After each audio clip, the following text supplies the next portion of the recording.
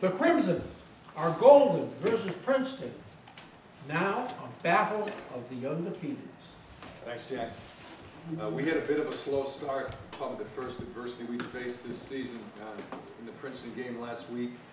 Uh, we came out, uh, had a couple of turnovers, very uncharacteristic. We were leading the nation with fewest turnovers in the country, with only one going into the Princeton game, and uh, just struggled with it. And I, I think in the long run, probably was good for us to the point where it's seven-seven late in the second quarter against a tough rival, and uh, uh, we got things in order and uh, scored 35 unanswered points on the way to a 42-7 win.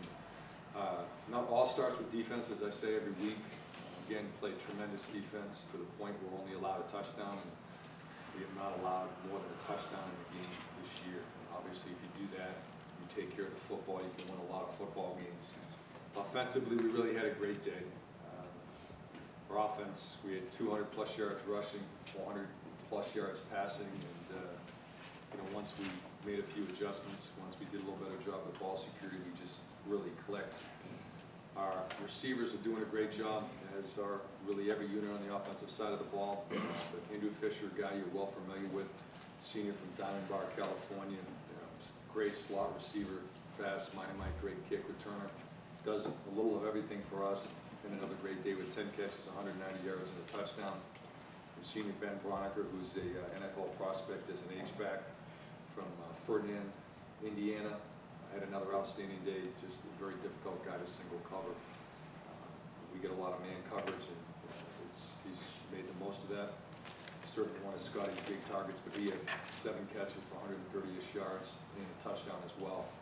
Uh, The catalyst uh, this week and uh, for many of our games has been Scott Hosch. Scott is our senior quarterback from Sugar Hill, Georgia. Um, You know, what can you say? He's 12 and 0 as a starter. He continues to get better every week. And last week, he was 29 for 40 for four, 343 yards? 437, 437, okay. Third in in uh, Harvard history, behind behind Neil Rose and Colton Chapple.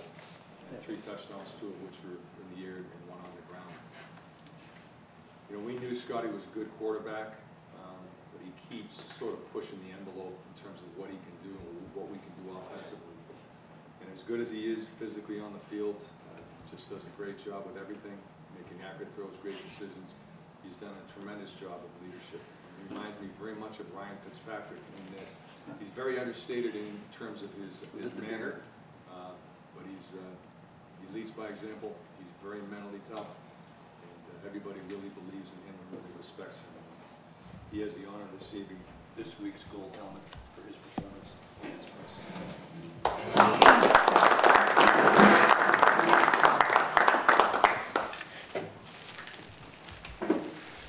Yes, I'd uh, like to start off by thanking the New England Football Writers and the uh, Massachusetts uh, National Football Foundation.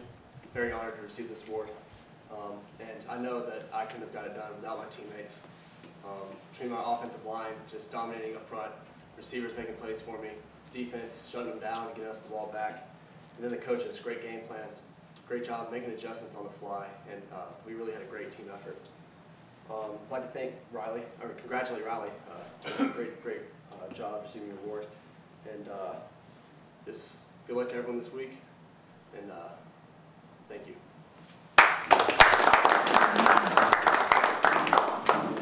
Uh, Obviously, a big game for us this week against unbeaten Dartmouth.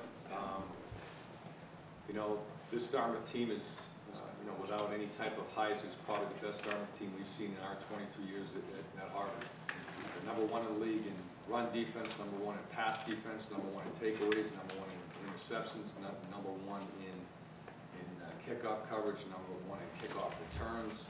Uh, Just a tremendous football team. They've got 10 seniors on defense that are just a really dominant football team.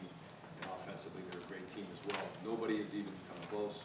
They've crushed Yale, they crushed Penn, and uh, Coach Teevens and his staff have done a remarkable job with that program. It's a great football team. It should be a great game. It's a Friday night game for us under the lights. They're they're gonna come out of the woodwork uh, for the big green, and uh, we're expecting a great crowd. It's a national tel, national televised game on NBC Sports, so uh, we're really looking forward to it. Something's gotta give, obviously. Congratulations to Raleigh and Curry on his, uh, and their gold helmet performance. Congratulations to Coach Betty on a great win out at Williams. Good luck everyone.